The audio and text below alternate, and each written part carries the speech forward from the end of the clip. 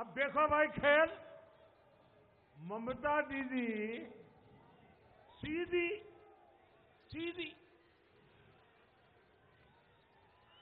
दीदी सीधी कोलकाता से यूएनओ पहुँच गई।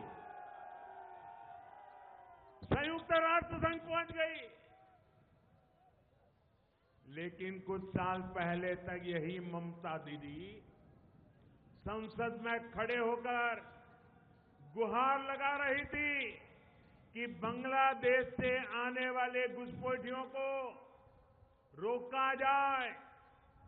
वहाँ से आए पीड़ित शरियार शरणार्थियों की मदद की जाए। संसद के अंदर स्पीकर के सामने कागज़ फेंकती थी। बांग्लादेशियों के खिलाफ। दीदी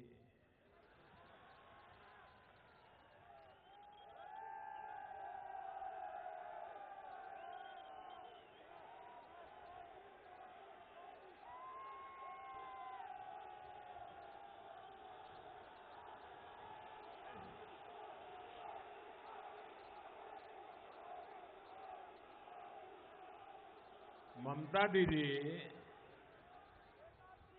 दीदी, अब आपको क्या हो गया?